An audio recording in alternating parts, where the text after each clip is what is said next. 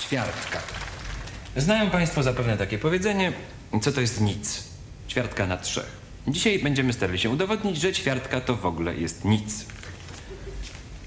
Teza. Ćwiartka to jest nic. No, Żeby to udowodnić, sięgnijmy do faktów.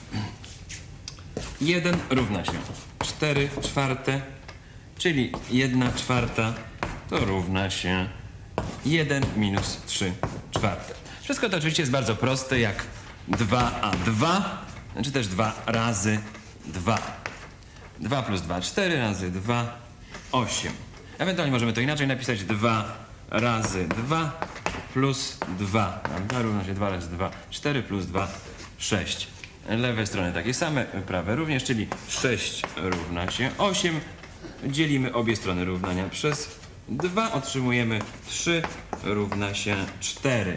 A więc 3 czwarte równa się 1. 1 równa się 1. Podstawiamy, otrzymujemy 1 czwarta równa się 1 minus 1 równa się 0, co było do dowiedzenia.